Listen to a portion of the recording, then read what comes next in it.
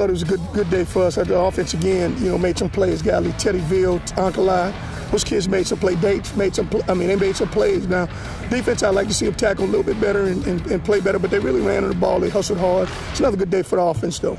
We had a good scrimmage, nice little scrimmage. It was really good. Everything's been going good right now. Uh, we came back in after Saturday, had uh, another scrimmage, you know, kind of brushed everything up. You know, after we went back through the film um, Monday and yesterday, we kind of tweaked some things when uh, saw the new defense, our dime. We kind of ran it today and uh, tweaked some stuff. You know, we're still growing and still learning. I, th- I, think I've gone a lot uh, from going in from the summer, not knowing a lot, to you know getting in the uh, weight room and the film room, you know asking questions of my coaches and fellow players. I think I've grown a lot to understanding the schemes and you know, how everything's fit and you know where the guy's supposed to be at certain times. Uh, today was a good day. You know, um, we finished up um, with, the, with the spring uh, practice and everything. You know, uh, we put in a lot of emphasis on the punt today because that was really much like our weak points really last year, making sure um, that we have. Um, all responsibilities uh, covered with, and even on um, kickoff and today the option. Uh, it was pretty fun also. We did some special teams work. I think we needed to do that. You know, it's one thing we got to improve on. You know, I know these freshmen will come in here and they'll play, play special teams for us, but golly, I thought it was I thought it was good. I thought Doug got those guys running and you know they ran, ran some, some, real real good drill work today. We're going to face three option teams, so we've been doing a period a day, but I really want to emphasize option in this practice.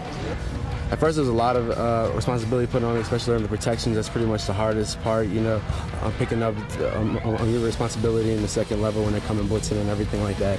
So um, that's uh, probably the toughest transitions because in high school, you know, you really didn't ha like um, have a lot of blocking responsibilities to uh, take account for just the O line, but now it puts a lot more responsibility on you. So it kind of throws you off a little bit, um, especially if it's your first time learning protections like this system right here. I felt like I was more prepared this time because I um, went back in the film on my own and, and corrected all of my mistakes and everything like that. So um, I've learned uh, pretty much most of the protections, but I still have to work at that.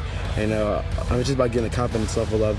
Uh, just so I could, uh, you, know, you know, just execute correctly. And all the guys in the room, even Coach Dave, has been helping me with that, at that confidence level right there overall, the off season with uh, weight training and then actually coming on the field, we're going closer a lot as a, as a team. You know, as a unit, we learned to depend on each other. You know, uh, let each other know we got each other's back. You know how to communicate in different situations.